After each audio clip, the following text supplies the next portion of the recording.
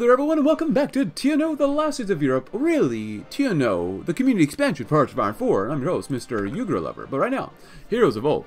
Yevdokia tested the dent between her teeth, cringing at the feeling the newly missing tooth had been knocked out uh, when her face met the plane's dashboard. The last few hours she maintained a stoic front, but the frustration simmered under her. In what world would they have won against these maniacs if they didn't give the mouth the much needed anti-air at their airbase to protect the planes that, that got turned against them when the colonels took the airports? If they guarded the couple dozen of planes the rats got away with, they would have not failed. Well, it didn't matter in the end. Her fingers found the charred photo of Constantine she'd always kept in her pocket, bayonets, bullets, execution. At least she would see him again. The middle door of the cell slammed, her softened expression hardening again. But at least she would meet her and bravely. The king rat, in all his debauched glory, drunk, entered the room, sitting down across the pilot, sighing Ioseliani. Observed Yevdokia's face, chuckling. F me, sorry about the face, but the boys did have to take down your plane. Putting his hand in his pocket, he would take out a metal flask, placing it in front of her. Vodka, we ain't got painkillers on hand, so that's the best I can do for now. Just get over with it. Ioseliani blinked. Say that again? Yevdokia turned her smashed face away from the flask disgustedly. I know men like you, no honor, just so end it, just end it with semantics and take me out. Yolani paused before taking the flask and taking a rapid swig himself before chuckling. What do you think, we're just going to, just because we stole your planes we want you dead? A dog-eat-dog world out there. you shot down the bomber dude, so relax. The term of hero ain't foreign to us. Reinforcements for a price. Still rode on Jaba Ioseliani as he made his way to the caravan, taking heavy steps in his mud. As the Taos convoy awaited on the other side of the compound, its fur-covered traders drew envious looks from the freezing sentries for a moment. Jaba thought that a mocking smile flashed across the head merchant's face. He gazed at the mountain trucks, equipped to pass through any kind of blizzard, while he, the most successful bandit in all of Russia, had to arrive on a horse. The merchant had brought out three dozen crates of rifles, bullets, and some combat knives for the chiefs. Jaba took one of the guns, an old AK-47. Its barrels battered, but he could get the job done. He turned his head and nodded to the bandits. They grabbed the crates and carried them off, not unlike how a vulture feasts on the scraps left by a fierce predator in turn. Some footpads emerged from a nearby bush with heavy sacks around their shoulders. They deposited these into the mountain trucks and disappeared back into the woods. The head trader returned with dry smile, reached into his overcoat, and produced a letter. Jaba took it, but before he could open the seal, the merchant had already started their engines. The head trader yelled out, Zatas appreciates this deal, and we hope that many more will follow. Send a messenger to us with your reply. There's a lot more from where that came from. The truck rolled out of the compound, and a strong gust of snow blew into Jaba's face, who was laughing like a fool. Ah, they just don't know what's coming for them. Not, not yet. Creating border tension. Our plan of action consists in disguising the bandits as soldiers of Zatalos, with the instruction of creating border tension, ensure damaging some of the, our border camps, and blaming the Republic for the incidents, giving us the casus belli to betray Dragunov and cut our ties. The next step is to cut all communication with Dragunov. We'll also take advantage of our past deal that grants them access to our territory, and raid all the caravans without letting them know what had happened. As it looks like we are raiding people, We're getting raided. So what's going on here? Um, oh, raid in progress. Oh, this is very weird. A little bit of lag, but uh. Oh, there's a number. Okay, now it popped up. Thank goodness. Now we won. Yay! Very good. Very good. And what do we have over here? Agriculture methods? Sure. Why not? Warlord development. Treasure. Ah, political power. Very good. Very, very good. And then we'll end the Dragunov's fiefdom, which we will go to war with Zatal. So now is the awakening. General Pavel, Pavel Shiryev have been sleeping, sleeping for the longest time he slept in weeks, approximately six whole hours. A dreamless sleep, but sleep nonetheless. Unfortunately, a knock at the door that cold early morning awoke him abruptly. Sir, there's someone out here you're going to want to see. His secretary shouted from behind the door with a grumble. Shiryev got up out of his chair and opened the door. There's some strange news from the Bodos, uh, the said the secretary, as he handed the general a yellow folder. From what the courier told me, some of our men just attacked the thieves' forts. With a creased look on his face, Pavel took the folder, walked over to his desk, and sat down. It began reviewing the files. The events took place just that night, with what looked to be the rogues Lataus soldiers. Pictures showed them wearing... Was that his army's insignia? Was his army disobeying him now? He continued reading. The soldiers had stormed upwards of 20 Ugaran forts and emplacements, technically pushing the border between forts about half a kilometer, where were, were ordered. It would have been a massive victory for the Zatel, weakening the border on the Yugo side while the Republic gained land and forts. However, something was still off to the general. As he kept reading, Shiryev I began noticing some strange anomalies, even with the fact that it wasn't even ordered notwithstanding. Most of the men were using much older weapons than what Zatel was issuing to its soldiers, with many of the guns looking fresh out of Vorkuta. Furthermore, in at least three of the raids, some soldiers simply walked over to the fort, hung up the Zatel's flag, walked over to the next fort. The behavior of these supposed Zatel soldiers did not simply line up with how they were trained, and their rather, rather good appearance of the soldiers would be downright insulting to see if he actually was their general. There, that was only one viable conclusion you could make. They were not his men. They were, quite clearly, uh, forces who had faked an international incident to incite war between the two nations. Action had to be taken. He looked over to his secretary, a particularly literate and fast-learning lieutenant, and issued the first order of this new war. Lieutenant, call up the majors, call every officer, call the field marshal. We need to mobilize at the Yugra border immediately. Yes, sir. Yes, sir. Nice. and the fiefdom. We must now act quick. The Dragunov will probably know that it's, uh, war is on the horizon and will mobilize his troops. We are disadvantaged considering they have more mechanized infantry and more professional army. But we'll apply our knowledge of guerrilla tactics to trap and overrun their army. To the best of our ability, of course. Purchase towed artillery. We're okay for now. We don't need that for really. We really don't need that. But still, we get literally no political power. Wow, that sucks. That really sucks. We got a good amount of manpower, which at the time of recording, I've heard that in the future updates for this mod, and especially for Yugra, they'll get less free manpower, so eh, we'll see what happens. We'll see what happens. So we got plenty of support equipment too. Oh, nice.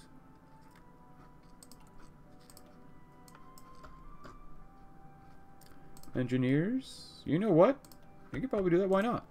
Got plenty guns. Got enough support equipment.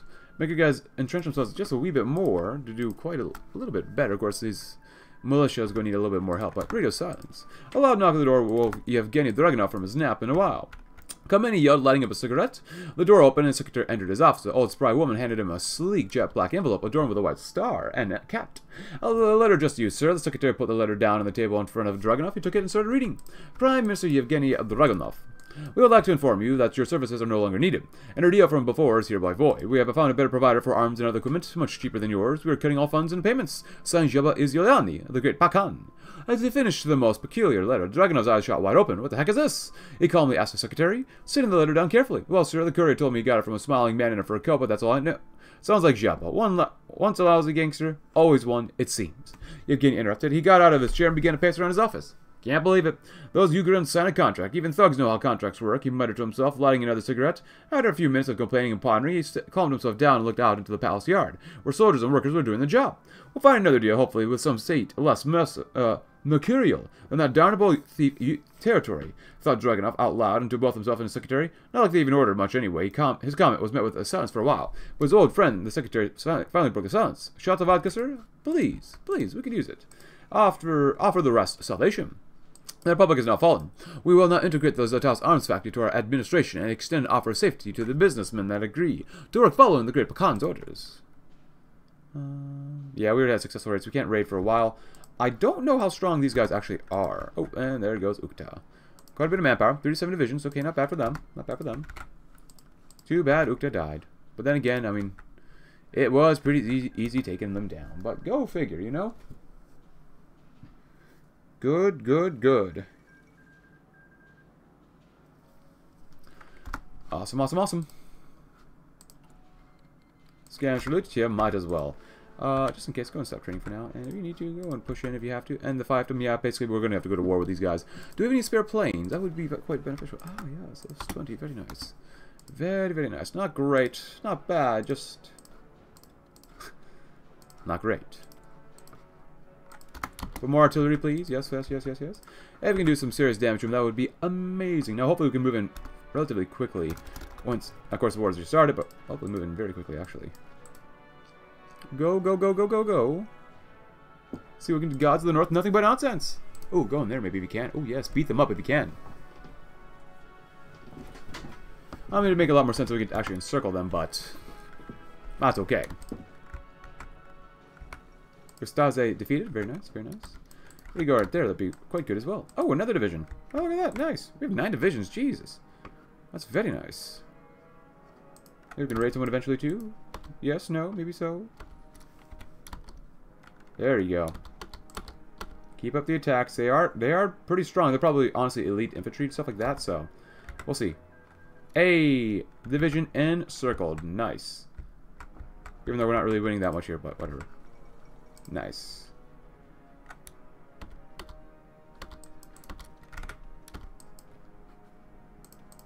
Oh, actually, there you go. Now you do it like that. There you go. That's much better. Train your workers, stuff like that. Scavenge for some looty booty. We've lost 4,000. They've lost 11,000, which is not too bad. Yeah, kill them off. If they want to do that, no, we'll just kill them off too. You can have that tile. We'll take this one.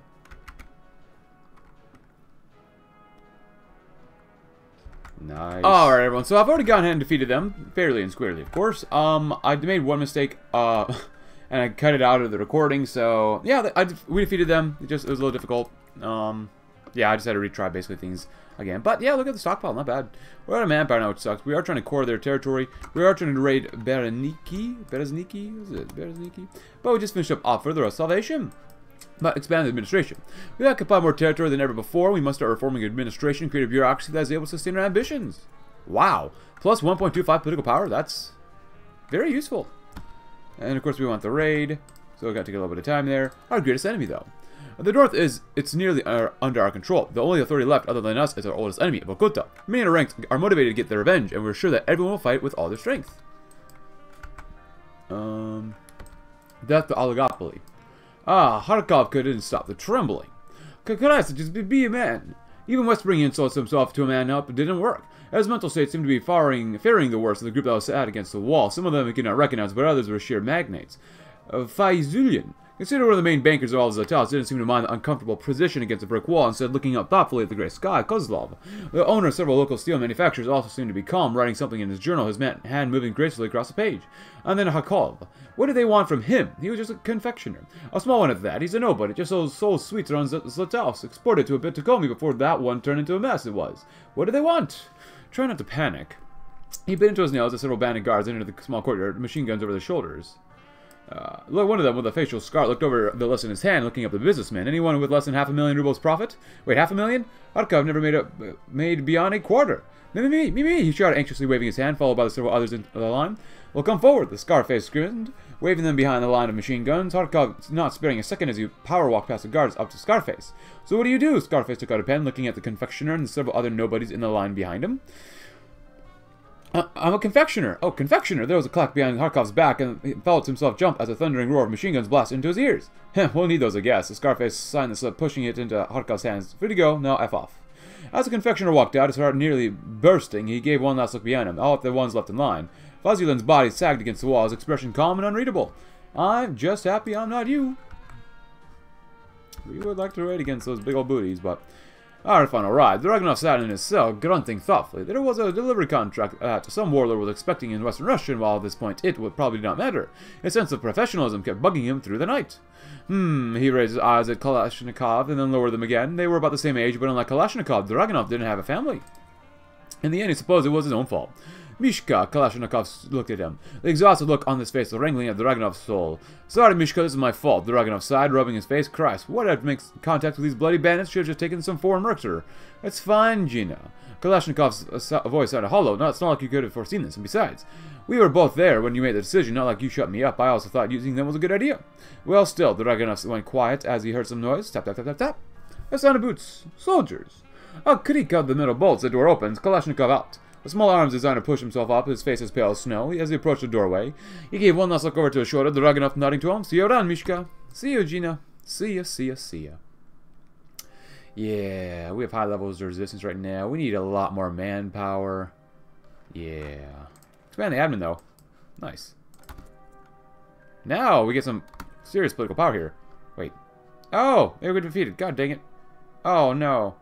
Can we raid other... I want to raid other people, please. Um, hopefully we can core Zotalis pretty quickly. That'd be good. And then we'll go to war with uh, these guys probably. Let's see. Infiltrate the gulags.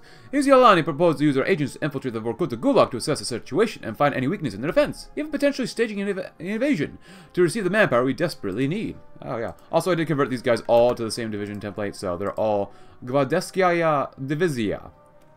So, the basic engineers with artillery and, and uh, yeah. Yeah, that's what they are. If we did this, we'd have nothing here, so. An important step. In the main heart of the Pankas, it was noisy as always. A thief was cleaning his pistols. Someone was playing cards for cigarettes, another was sitting leaning back in the chair and smoking them. After several campaigns, raids, and captures, everything was in the budget, but still some kind of ghost of menace was wavering over them. The ghost of a dark past. The door creaked and began to open. Jaba Ioseliani and his closest subordinates came in. Many abruptly got up from their chairs, some others put out the cigarettes and continued to sit, but everyone understood that he was not just with the best of news. Sit down, sit down, don't be afraid. I have just one announcement, brothers. Everyone obeyed the order of the chief. A chair was brought to Jab. He sat down and took off his military cap, took his cigarette with a match from, some, from someone sitting in the room, and lit it. Well, gentlemen, today is an important day. We're going on another raid. Everyone smiled again, began to whisper, while Jaba looked at them with his menacing gaze. It's not for the loot. We're going to Vorkuta, to the gulags. The noise of a fallen gun and later a body. The Pankas uh, Pakhans, abruptly got up and saw the old prisoner of Voron lying on the floor. He was having a seizure. Many began to look for something near the bedside table. One of them went up to the lying Voron and opened a bottle of ammonia next to the nose of the fallen one. A minute passed, and there was more movement in the hut now than all the years before. Job was already standing over the awakened Voron with a cigarette in hand. The 60-year-old man had seen the gulags under Bukharin, out of the failure of the front and all the horrors of Vorkuta under Kaganovich. He wanted to say something to Zhaba, but his voice clearly died down. Zhaba, having extinguished his cigarette from the ashtray on the nightstand, called his subordinates, put on his cap, and left the hut with them. Voron sat up, or got up, sat down on the bed with the help of others. He looked around at the thieves, looking anxiously, and then at the door, then at himself. Voron took the gun again, loaded it, and told everyone in the hut, I don't know about you, but I'm ready to shoot some of Blochin's cocksuckers. Ah, yes. Yum yum. Uh, bail out the prisoners. Oh, yes. Our spies have reported that the guards are heavily outnumbered by the prisoners. We are ready to cause a breakout to get most of our remaining brothers out of Vorkuta, spreading chaos and disunion to the organization of the NKVD. As we're building more cities up as well, so. Kemerovo unites. Oh, look at that. Grand Principality of Central Siberia. It was Novosibirsk. I thought it was doing quite well last time. I hope the WRF does not win. Actually, I want Vyatka to win. I want Komi to win, Vyatka, even the Brotherhood to win. I don't want Samara or the WRF to win. They always win. Fleeting men. Nestor sat out in the frozen prison yard, alone. Only about 30 or so of his men were left here, excluding the fat, red-faced guard. This was probably the worst mission you have ever been assigned to. Nestor Grig uh, had been ordered to infiltrate the Vorkutan Reklag, a camp relatively close to the border, in an attempt to find as many military intel as he could. Those military plans still eluded him, but right now the mission was, was but one of its problems. And the Reichslag, where there was little but filth, desolation, extreme temperatures, and starvation. When he got here a few months ago, men filled every cell, but all but 29 of them died making rifles, starved, or shot for fun, or died of disease. The worst part, however, was the warden's office. Next to this office, the warden ran what seemed to be some sort of medieval dungeon. Grigorovich didn't know what was in there, but he did know how its victims sounded. The screams of pain weren't even the worst of it. What broke his heart was the begging. At least once a day he'd hear frail, pained voices pleading and beg not for their lives but for their freedom, but simply for the pain to end. Men would plead and plead, promising to work harder to eat less, anything for the torture to end. They almost always died. Nitsa Grigorovich needed to get out of here, but he needed to know what Vulcan was planning first. He had finally located the warden's official office, and between the bouts of sadism, he was working with the Vorkuta Military Affairs Commission. The cadre was sitting on the months of top-secret military information. That afternoon, however, he had set aside a couple of hours to help the warden do terrible things to a young Bashkir, leaving his office wide open. The wiry agent snuck past cell blocks and mess halls, inching closer to the door, even passing by the warden's quarters. The noises he heard shook him too close to the core, but con continued, finally reaching his target, an office full of intel. Nestor wanted to no time, wasted no time, grabbing everything he could. Hold, files, loose papers, anything of value to the Ukraine military. As the Bashkir boy's screams filled his ears, he slinked back into the hallway, hands, shirt, pants, shoes, and underwear bulging with papers. In a moment of mad genius, the desperate agent decided to climb into the ventilation, crawling through nearly a kilometer of, of vent piping. After an hour slowly making his way through the boiling shafts, he found himself outside the building. Finally, he would be free. He ran through the same hole in the fence he had entered through, still not patched up by the guards and left the gulag. Those pleading men would live on in him as fuel for the destruction of this accursed place. May God have mercy on us all and scout the territory. The territory of Vorkuta is extremely harsh. Most men would normally freeze if sent out without directions. We must scout the region so that we can use this weather to advantage. Hey, look, more guns? Um, oh, we actually filled up everything here. We definitely need more fighters. I definitely need more of this as well. Boom, and then boom. Oh. And then maybe do that. We definitely want a lot of fighters, but I definitely want a lot of cast. So that'll be the kind of the cast collection down there. Uh, let's go to three. One is fine for now. Motorized is good enough. Bail out the prisoners. Oh, look at that map. Oh, we must have cored uh, Zatas too. Awesome. Uh, we haven't done poverty, which is fine. So we'll probably just keep going with... Agriculture's not bad. Industrial improvement is going doing extremely well right now. Extremely, extremely well. So we'll go from power tools. Oh, wow, that's really bad. Holy crap, that's so bad for output and speed. Through rudimentary stuff. And hopefully we can upgrade ourselves. Well, I don't want to do this yet. I want to get better industrial equipment first. Let's wait two months first. Get this upgraded all the way. Or I guess, yeah, two more months now. And then do it again so we can get some more benefits. We love benefits. Heavy snow event? Yes. It was a normal uh, morning in the camp when Yugra and his team were ordered to go on what seemed like a routine patrol. They were. Leaving that afternoon, the orders were clear. Scouts uh, the outskirts of Vorkuta, map out all guard posts, and investigate for possible weak points in their lines. When they set up from the camp, uh, Yura and his men were in a state of ecstasy. They were hoping for an excellent adventure. Some of them wondered how many men they could kill if they were going to see something at all. As time passed, the grim reality of Siberia set in. As the sharp, freezing winds embraced their bodies, they could only wonder when this would be over. Yura remembered easier times, remembering, remembered sitting by the campfire when he was younger, the stories of his father before the war. They would sit, how they would sit by the chimney and skip the cruel winter. Yura hoped that this would soon be over so he could go back to the camp and end his godforsaken mission. Better times ahead, of course. Nice. Very, very, very nice. Time for revenge. Our plan is ready. The guards are experiencing infighting in the ranks, and Blochin is probably pissing himself. Now it's time for some sweet, sweet revenge. Like some uh, army XP. Nice. Or Warspar shit, not army XP. Nine divisions ain't too bad. Not too bad at all. Yeah, guns are looking good. Artillery's looking not too bad either. Oh, there goes Vyatka. Goodbye, Vyatka.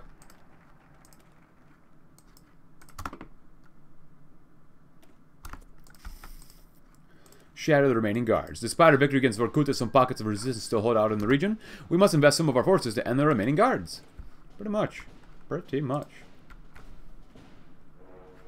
Sverdlovsk is dying. Oh man, is going to be a pain in the butt to kill off too, but whatever. Uh, where are we at? Yeah, just give it one more month. We'll be good. So if you have six extra, does that roll over? I don't know. We'll see. Happy 1965 though, everybody. Hope you're having a great, great year.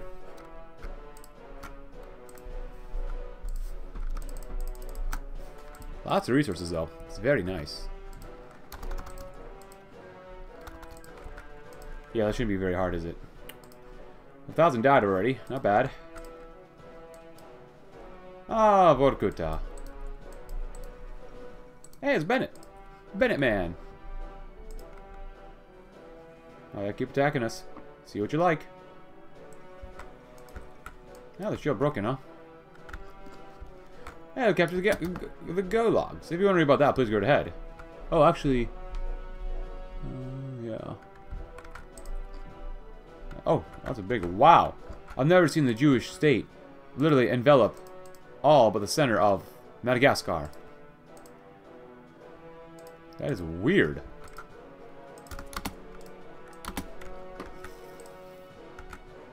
Scavenge because you can. Um...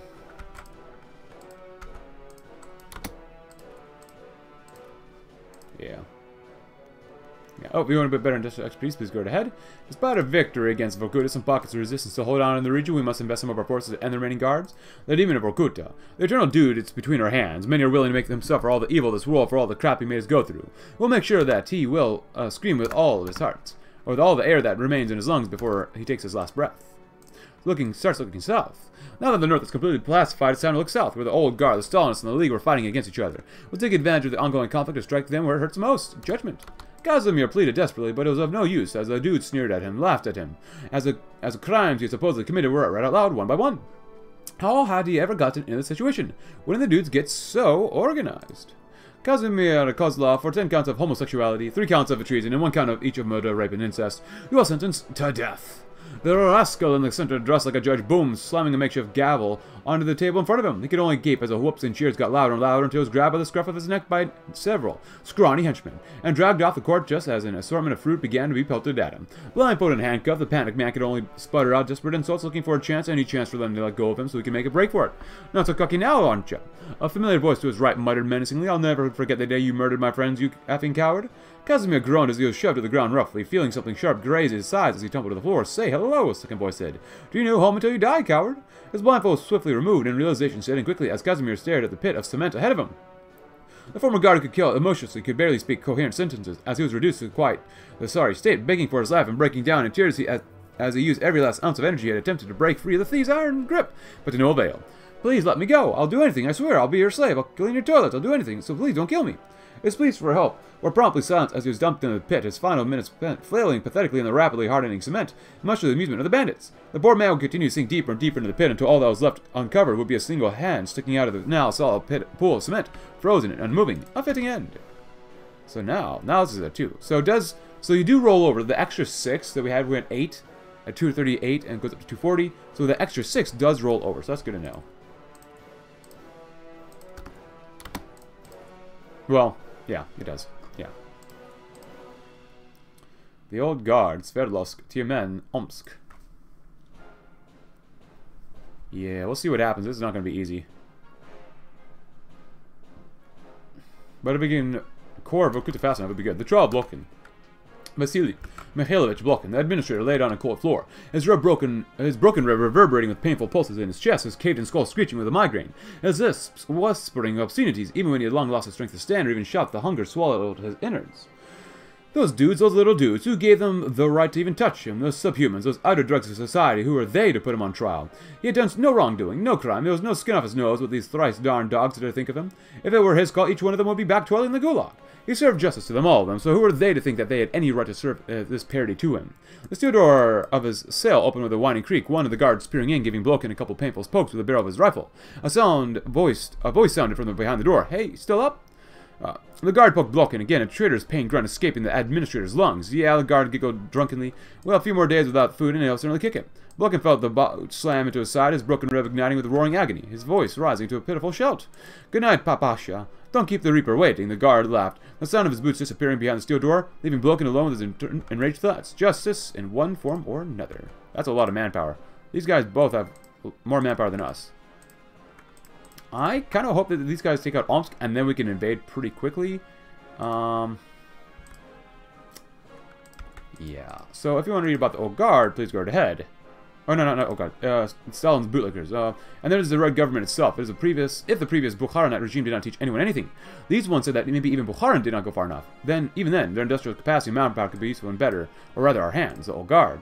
Uh, the Red Army, a failure of the previous age, stands in their way in the south, still holding on to a belief that they are somehow above all else, or above all this. Well, for the self-delusion, they're still sturdy foe, shatter the League. And for desert, the Omskovite fanatics and the crippled general. It's hard to tell what their actual goal is. Barely any word escapes of Carapace City and its bunkers. Well, let's open it up and take a look. An offer. The two men stared at each other closely, seemingly looking into the other's eyes as if they were trying to read their thoughts. General Pavel Batov looked at the letter in his hands. The great Pakhan, sitting in front of him, was demanding his surrender before war had even properly started. Mr. Ioseliani. You address me as Great Pakhan. I will do no such thing, we say to today's equals. You have asked for my submission. You offer me mercy and say that our men will have a chance for glory, but the men of the Third Army do not wish for glory and money. What is there to steal in this um, land but from our own people? Red, Red Army only has one purpose, to serve Russia no matter the cost. General Batov, I urge you to reconsider. We are not the bandit rabble that you believe us to be. The Bratva's just that, a brotherhood. We are not merely a mafia, not merely another petty fiefdom. And any thief worth his honor will die for the Bratva without a second thought. Your choice is simple. We will crush your army one way or another, whatever. Whether you outlive it is up to you. On which we have gone to war with Sverdlovsk now. Now, luckily, these guys have been killing each other off pretty darn well. I decided, you know what, these guys do have more divisions, and if these guys are distracted by Omsk, especially when these fellas do have a literal tank division, and we've got none, and Omsk has none, I'd rather have us double team Sverdlovsk actually in the end. But like I said before we, uh, you know, fade to fade out, if you want to about uh, Shadow League, please go ahead. Also, I did uh, take a little bit of a break between this part and the last part where I faded in, faded out. And actually, three of the devs for the mod, for the mod, the CTE, the community expansion for TNO, actually commented. And uh, if they're still watching, thank you. Thank you. Thank you for watching and thank you for making the mod. I look forward to all the expansions that this mod and other mods can get up to in the future. Wow, not bad. But uh, yeah, keep it up. I love seeing what my developers can do, especially for mods like TNO. Oh, so good. Hey, thanks for Sverdlovsk, though. Thank you for Sverdlovsk. Because now Omsk is going to kill us, while we are going to try to kill them. Pacify, or pacificate, the military zone. It seems that even the glorious Red Army couldn't come out victorious against us. The iron must be beaten while it is hot. And we should not let the remnants become partisans. Catch every single dude. Oh, and we love looting for booty. It's our favorite thing. We love booty here. We'll see what happens. We do have 11 divisions, and they are all infantry divisions. They're 19 combat, which is not bad. They got one thing of Auti. Actually, since I capitulated, we got more. Ooh, more anti anti tank. Ooh, we got plenty of guns. We need more, some more motorized. That's not too bad. Fighters not terrible. Interceptors. I don't believe in TNO. Uh, attack bombers would be fine, but I prefer cast personally. And now we've gone to war with them as well. So, ooh, IFVs, some APCs, sign us up. Yes, please. Oh, they attack us, huh? Oh, well, I mean, it would help if we actually did this too. There you go. Go ahead. See what you can do. They attack us, we attack them. Circle of life. Live, love, and we have the Ural Automotive Plant captured. Onwards, my friends, onwards. After that, eliminate the fanatics. We have cracked the Black City's asphalt exterior and let the rot spill over all over the snow. It is not even ideology, but evil, simple rage and wrath or fear of their leadership that guides these men towards their death. This cannot do. The fanatics shall be isolated, and the rest need to be shaken out of their hateful stupor. Beautiful, my friends, but yeah. I love seeing submods for TNO. I love it, love it. I love TNO. Like, I don't know. It just, I don't know why I love it. It just, it is what it is. I enjoy it so much, though. I enjoy it so much. It's one of the mods that I'm like, I could spend a lot of time here. I could spend, and I have spent a lot of time here. Alright, agriculture. Thank you. Come again. Oh, oh, encircled. Destroyed. Lovely. Wow, we actually took out a lot of Omsk without even getting Omsk. Holy crap. This is one of the funnest wars I've done in a while. Especially the times recording the band and the soldier, though. Baltov sighed as he looked at Ioseliani, the great Bakan, grinning back at the general. So, what do we have here, hmm? No more uniform-clad lads to throw at me? Ioseliani swiggled from his bottle, chuckling. Baltov clenched and unclenched his fists, his expression darkening. I will not let you rule these people, you darn scum. This is all a farce, a disgusting farce. Ioseliani listened carefully, placing the bottle down next to the table leg and observing Baltov with an interested look. You will surprise me, old boy. Baltov's lips turned to, into a thin line. Blokhin cursed me because I was a bandit. Dragunov never intended to continue working with me. To him, I was a useful hammer to swing around at his possible enemies. The crappers or the dogs and the free aviators just had nothing to fight back with but you. Ioseliani chuckled. You're led by the people? Baltov lifted up his eyes, his jaw clenched. Yes, in the end, I shall serve the Russian people, because that is what the military is for, damn it. Not for kicking people down, not for terrifying them into submission. It is to protect them, and I will not let scum like you suck the lifeblood out of the nation. Ioseliani listened before going quiet and looking to the side, scratching his bearded cheek. You are a weird one, you are. Ha! I suppose we can work with that. The great Pakhan sat forward, staring the general in the eye. A thief's word means a lot in this world, old boy. I promise to work for the people if you work for me. We need all the expertise after all. Baltov sighed, looking away. Ioseliani picked up the bottle and stood from the table. I'll give you time to think, old. Batov interrupted. If that, if what you say is true, wow, we actually get him as a security minister.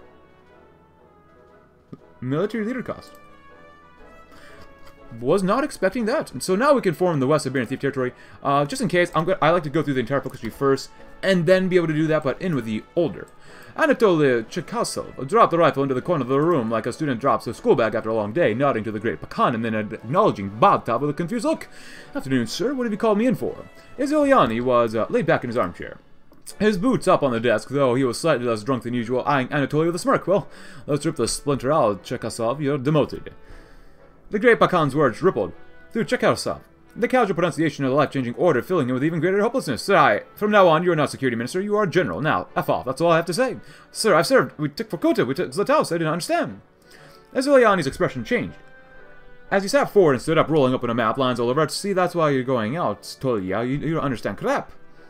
Ioseliani's hand went over the map before slamming a fist down on a piece of paper. This, this was your operation to take Zlatoust, and guess what, Tolya? If I had that man, Ioseliani's finger, uh, Ioseliani's finger lifted, pointing at Batov. In your seat, we'd have taken it faster, safer, and cheaper. That's not a maybe, Tolya. You're just crappier, so if you were about to argue, shut your effing trap and be happy that your skills are enough to keep you as a general. Got it? Cherkasov turned from red to blue, to a snow-white pale. Certainly, sir. Anatoly lifted his eyes, nodding to Batov. Good, good luck. The ex-security minister stumbled out of the room, forgetting his rifle. A short silence Baltov opened his mouth. That was one way to dismiss a minister. Ioseliani grimaced, sitting back down into the armchair. For all my love when it comes to the army. Calm underscore flavor dot thirteen dot a. I love that response. I love it. And end Stalinism once and for all. The Bukharinite afterbirth is no more. Now we have now to this experiment off the face of the world. No more centralization. No more personality cults. No more imprisonment. Stalin had died decades ago, and glorifying a dead man's ideals won't do the people any good at all. Uh, Irkutsk faces and reunites the Far East. Well, good luck. Because it's still anyone's game here. And I don't know why I just pulled a hair out of my mouth. Sorry. It was between my teeth. I don't know. As, anyways, Black Dusk. The great trial is now a pipe dream. Yazov has failed to destroy Germany and avenge Russia. Yazov, the great leader of the Black League, now disheveled, was a shell of his former self. He failed to defeat a rabble of mere gangsters and thugs. This was an embarrassment for the hardened and ultra-militaristic Black League. Now Yazov and his loyal officers were at the mercies of Yugras, gangsters in the ruins of Omsk. Many of Yazov's fellow officers were defiant at the gangsters, even at gunpoint. Yelling obscenities and insulting at the captors, Yazov, however, accepted his fate. Ioseliani, who is observing his men of the captured Black League leadership, gestures his men to take Yazov to him and execute the others. The men oblige, taking Yazov to him, while the others are forcibly lined up to a wall and gunned down. You know, I admire your resolve and dedication, Izyol Izyolania. Ioseliani says, impressed by the Black League and the zeal in fighting their enemies. Yazov says nothing, clearly the defeat of the Black League and how the great trial will never, of course, happen now. Hey, don't give me that look. Maybe in another life I lose and you succeed. Just kill me. I can't live with this failure. The defeated Glakovac states, Ioseliani obliges and holsters his TT-33. At the same time, he takes out a pack of cigarettes. Cigarette? Ioseliani offers handing Yazov a cigarette. Yazov reaches it out with his hand. The stolen trial. Nice. And that's good train as well. And I don't want to be bothered with making more divisions for now. Uh, we only, oh god, we have only 8 army XP. That sucks. that El Sacarinos. And I hurt my hands now. What the heck? Cool. Ending Stalinism once and for all would probably be a very, very, very, very, very, very good thing, but the bandit's victorious. It is a long road from the frigid north, but we have done it. Both the Reds and the Fanatics are out of the way. Now it is time to rebuild and repair for the future onslaught that shall come to our east and west. Onwards, my friends, onwards, as we shall build up more cities, because you, me, nothing better than a city. Well, maybe a cigarette. Even though I don't smoke. But I've been told that's pretty good stuff. And if we ever have enough stuff to build, or never have enough stuff to build, we'll build a lot of radar stations, because we can. I'd love to raid more, but maybe not now. Maybe later. Oh, scavenger loot. Uh, I don't know how long we're going to be here. I'd rather save a political power, probably, because we have just one more month of stuff, and then that'll be it. Shattered Hammer. Lazar Kaganovich had once been a name that struck fear across the Urals. The entire state of Tyumen swore loyalty exclusively to him, and his orders were followed by all. His people could never fall, for they believed in true communism. That was the case until a thief territory proved him wrong. Ugra had thoroughly destroyed his nation, and his government was dead or now in custody. Kaganovich himself was being led away from his cell in solitary confinement, a horrible cl little closet full of mold, rat, dung, and other filth. The communist dream would cease, seemingly, would end here, in this courthouse. The jury-rigged holding cell turned courtroom assembled in an empty hall of the prison where he would surely see his end. His jailers roughly dragged the former general secretary to the dock, a wooden chair that he was promptly handcuffed to. He had no expectation that the trial would be fair, just as the Ugrans had done with other state endings. The biggest thief of them all was here to pass a sentence himself.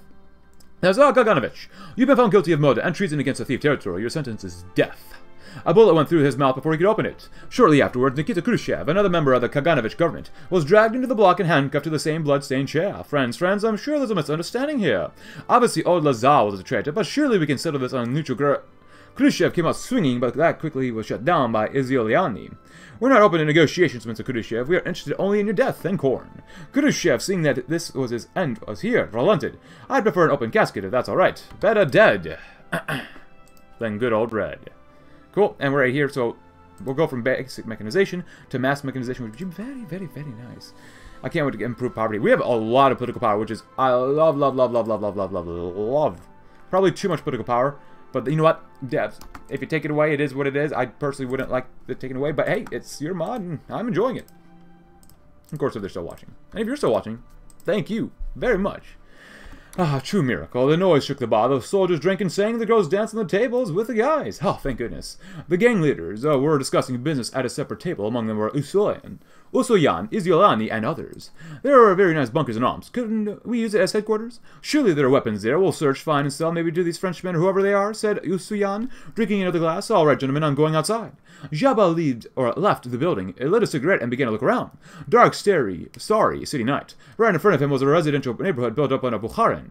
There were lights on in the windows, but the street were empty. A small Soviet town, it is in his power, as Iolani took another pull. He remembered the Gulag, he remembered Blokhin, he remembers the frigid, or rigid prison system, but now, he is a king of the system, he rules everything, and he can do more. The thoughts of greatness invigorated Jaba. Through the thorns to the stars, from the dirt to the princes, from nothing to everything, Jaba took several deep puffs of his cigarette again. After finishing smoking, he threw the butt away near the entrance to the bar.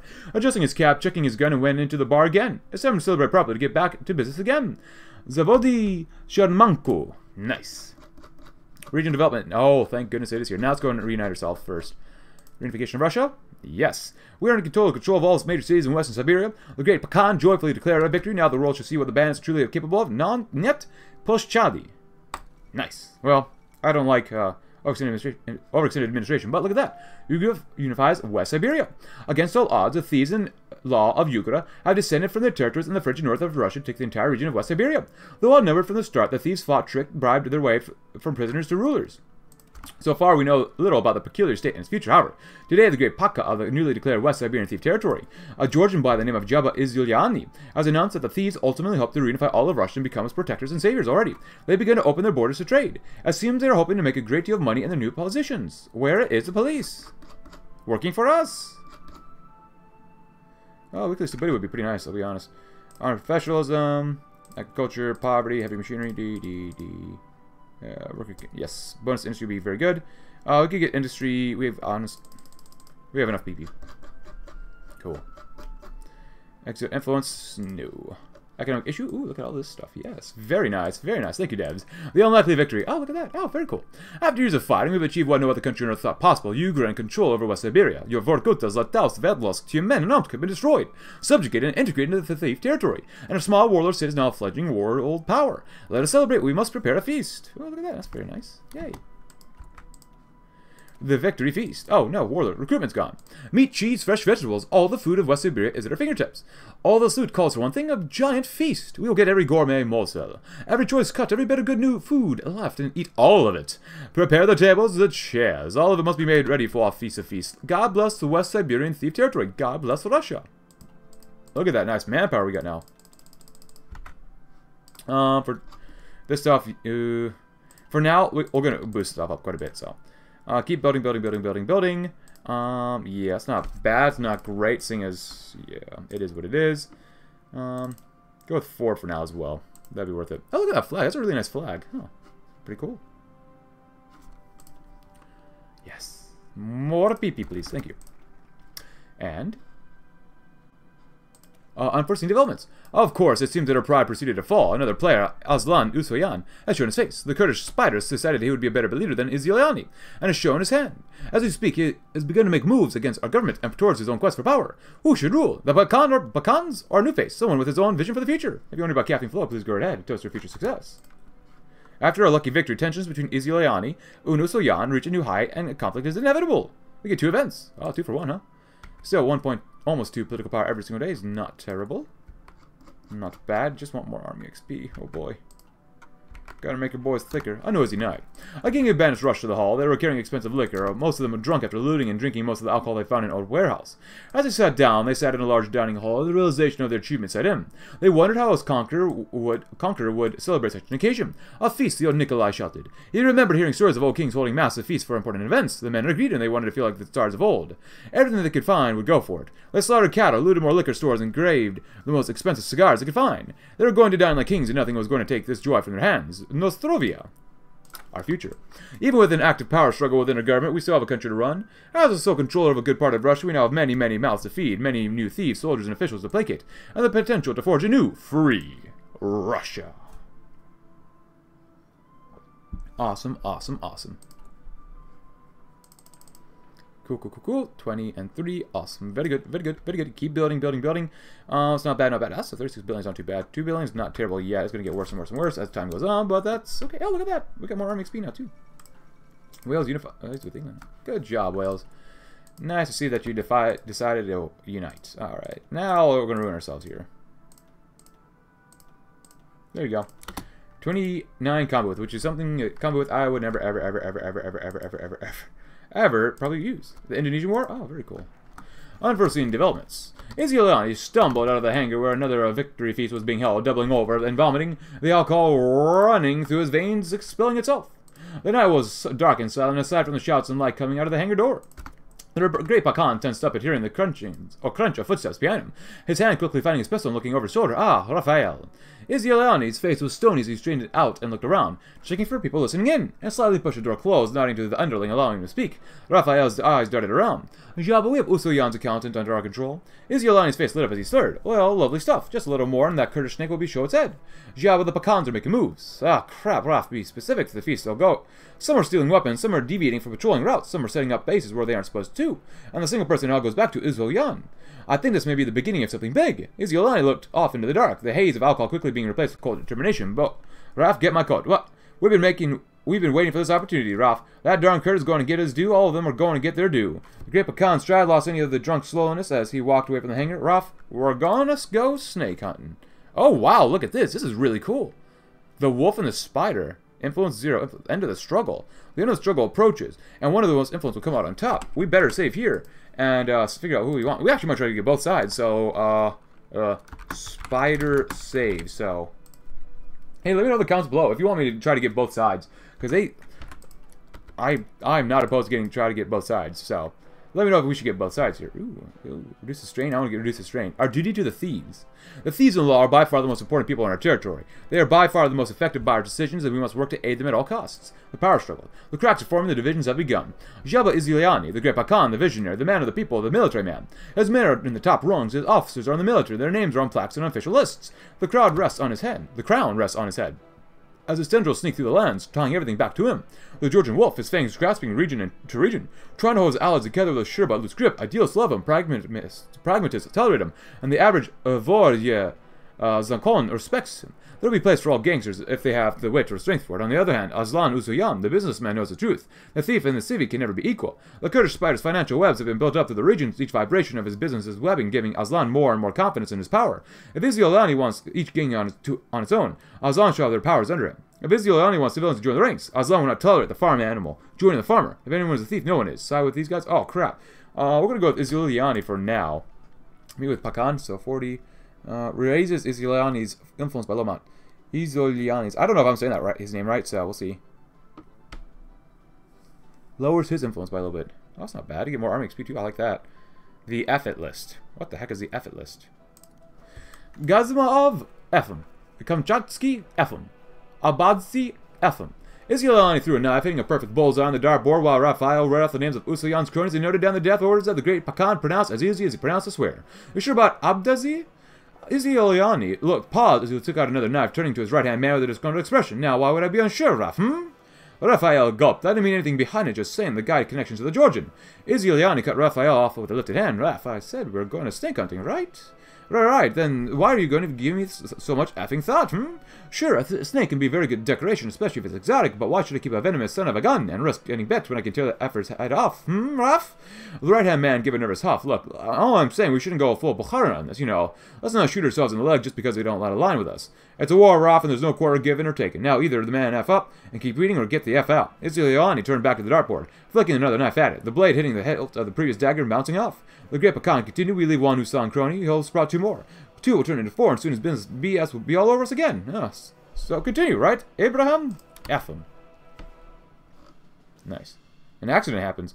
The power struggles throwing the country into a period of instability. The Pakhans are scheming, the bands are killing each other in the streets, and most order is lost. During this time, major accidents will uh, happen, um, and balanced power may shift. He's making his move thinking about tomorrow.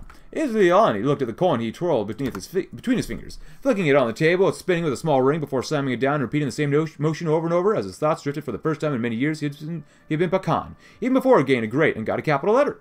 The truth of the gulag was simple. Get the loyal and power, get the strong under you, make sure your sucker ups keep their heads down. It was easy to be Pakhan if you had the strength for it, but being the great Pakhan? He had thought for a band of aimless men with fists for weapons. Now that he had command an army. When before he just needed to feed himself and his goons for a day or two. The files on his desk talked of deep tones of flour, and that would go to women and children in the cities. When before a mistake could at worst lead to a couple of kicked in heads, now a nation balanced on the razor. The great Pakhan slammed the coin down and looked at the surface of the face of Nicholas II staring back, a rare keepsake that one of his thieves found on the ground in Vorkuta. Ioseliani blinked. For a small fraction of a second, that face displayed the rotten Tsar morphing into his own, smiling victoriously. The great Pakhan looked at the coin again and smirked. Glory did not wait for him to get comfortable, ran ahead, and, see and he laid catch up. The Vorkuta cards, past the communes and the Omskovite fanatics, past his competition, Ioseliani continued to chase that spark. Glory did not wait for anybody. Ioseliani stood up, flipping the coin and stuffing it into his jacket pocket, so he'll continue giving chase. And our duty to Russia. We're a real country now, so let's act like it. Operating simply as iron mobsters may have worked when we all all we had was Yugura, but now we've got thousands of miles under our feet. We need to defined structure for our government, for the sake of our people, our government, and for the world stage. Nice. Uh, a strange assassination. Yeah, civilian war structure, why not? Oh, we can't do that one. Oh. Uh, stabilize the government. Oh, business restructuring. Raphael said a sense of deja vu, as you read off new lists of names noting at Ioseliani's new orders. Gorgenidze. Hmm, Minister of the Interior. Voronov. Ah, oh, that crapper. Stick him into the Ministry of Agriculture somewhere at the bottom. Let's make him eat crap. De Dekanosedza. He's quite a good officer. I think he deserves a good time in financing. Iziani, who had just uh, been up to leaning back in his chair, would sit forward and stretch yawning. Raphael looked at the time. It's quite late in the night, Jaba. Maybe we should finish tomorrow. Iziani lifted his eyes in a tired manner. Right, give me a rundown of the remaining candidates. Raphael quickly eyed the list. Some Georgians who sided with you over Usoyan, and a Russian officer who crossed lines and flipped to our side. The great Pakhan stood from his seat, picking up the bottle on the table and heading towards the exit. Stuff them somewhere in the military office, and the Russian can go into agricultural low levels as well. Raphael blinked. Uh, pronouncing nervously. Uh, Jaba, maybe we should rethink this. Are we not rushing things? Iziani turned his head, the door to the dark outside already. Opened, giving his right-hand man disgruntled look. Well, they're going to be loyal. Who gives a crap where they are? Oh, uh, I guess he did some of his stuff. Well, that's not good. Our duty to thieves favor. Oh. oh, one party state. Oh, I like that. Those we protect. Ooh, poverty gets better. Squeeze them dry. Oh, I like squeezing them. Hmm, squeeze me. Uh, pensions. Oh, that's not bad too. But our duty to Russia first.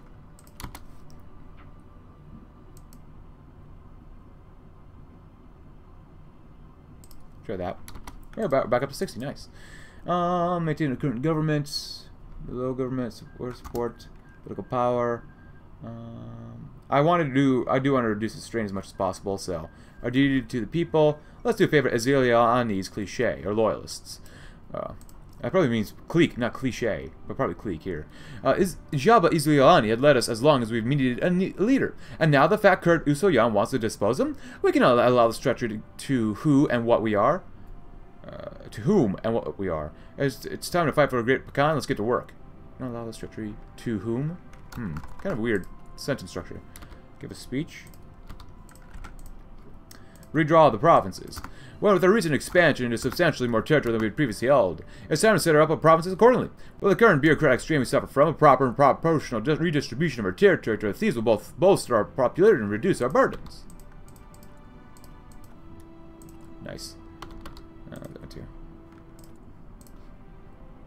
oh, wait, what? We don't have either one? Oh, I'll go that one. And go that. Why not? It's all about building right now. Build, build, build, build, build. Build, build, build. Yeah, redraw the provinces and then come down here. Uh, that's not bad. 10% establishing legitimacy is pretty good to do as well. So we'll go here, and we'll go here. Allow public meetings. We get some more political power. We get some more stability. I think that'd be pretty good to do as well. So.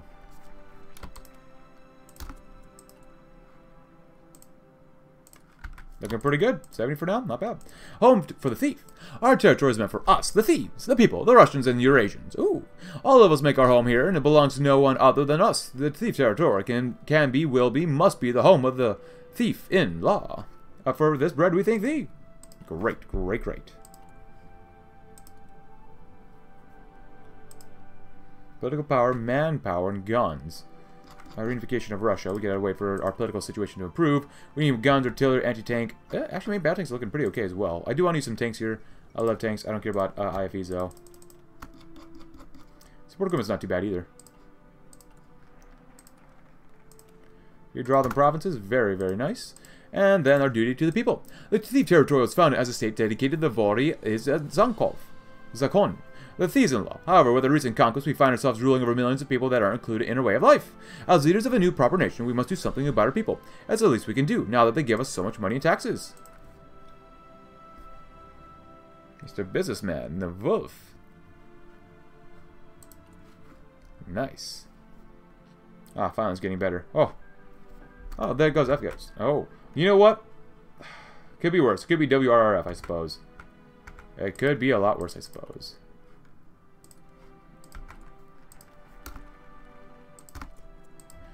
And as much as I want to squeeze them dry, because I love squeezing, uh, going to aid those we protect. Under our jackboot, regular boot, under some form of footwear, we have millions that need food, water, and shelter. These people have few rights, few opportunities, and fewer ways to get the things they need. As a government, we're in a position to help these people, and it's time to act now. Poverty get better, because right now we are authoritarian Democrats, because this would give us more despotism, who is under Az Usoyan. So, next time we do this, we'll probably we'll definitely go down this way. So, cool. Getting here. I would like to do an assassination, please, thank you. But eventually someday. And then, thieves for charity. Just because we're thieves in law doesn't mean we have to steal from the people. West Siberia's people deserve better than the authoritarian kleptocrats who took everything from them in the cause of ridiculous ideals. Communism, militarism, and socialism all fail them. But our position as rulers gives us the opportunity to give back. After all, where's the fun of stealing from people who can't give, uh, can't do anything back? On the clock. Uh, Yusuyan stared at the clock absentmindedly, recounting the reports he was given on Arseny. The little dude had pocketed some profit, 15 minutes to 10. A small-time Pakhan, Arseny Voronov, entered uh, the bar at exactly the time as per his schedule. Usoyan blinked at the minute clock, moving one unit forward. Four minutes to ten, he ordered a plate of soup at any and some crappy beer in another unit. Tick, tick, tick, tick, tick, tick. Tick-tock. The Kurd rubbed his eyes, looking up at the clock expectantly. The cook, a lovely woman behind the counter, goes to fetch the two. The arthritis does slow her down a bit, but he had accounted for her for or counted it for it. Three minutes, thirty. Three minutes. A bowl of lukewarm soup and some beer. The small timer takes the usual waft of it, as like he does habitually, then takes a spoon and begins eating. The delivery guy arrives through the back door with a box of beetroot. One of them looks a little damaged, but nothing suspicious. Two minutes. Usoyan felt a bit giddy, his eyes not moving off the clock's face. The driver places the box behind the counter and then offers the barwoman a couple of cigarettes. The two walk out to smoke and reminisce. Tick tock. Come on, Usoyan mouth. One minute. The small timer continues eating his crappy soup, not hearing the ticking coming from one of the boxes under the counter. Ten o'clock. Usoyan blinked and rubbed his eyes with his hands. It takes about a minute to get to the nearest phone booth. Ring! Usoyan picked up the phone. Yes? The Arseny problem is taken care of. Perfect. Usoyan placed the phone down and looked up at the clock, grimacing slightly. 10.03, a little off schedule. Oh, that's not good. Yeah, that's not good for us. What the heck? Not bueno, my friends. Not bueno. Hey, 5.7% though. That's that's definitely bueno. And we made another one. Not bad. Ugorsk. Make sure when you're done, train, train, train, train, train. Because you guys are weird 29 combo with, so. Um, let's go through another one of you bad boys on there. Thank you very much. Cool. These for charity. Cool, just in case. And establish our legitimacy, whether by fear or charity. We must establish ourselves as the rightful rulers of Russia, now that there are people to rule other than ourselves. With the people on our side, we might actually be able to achieve great things. The formation of a pe people-focused Russia, a lasting global oppression, and greatest of all, a united Russia.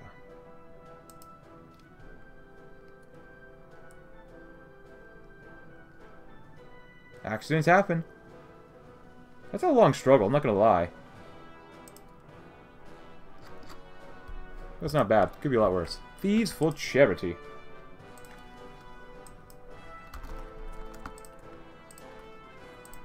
Keep building, building, building, building, building. And then maintain a current conflict, the power, Usoyans.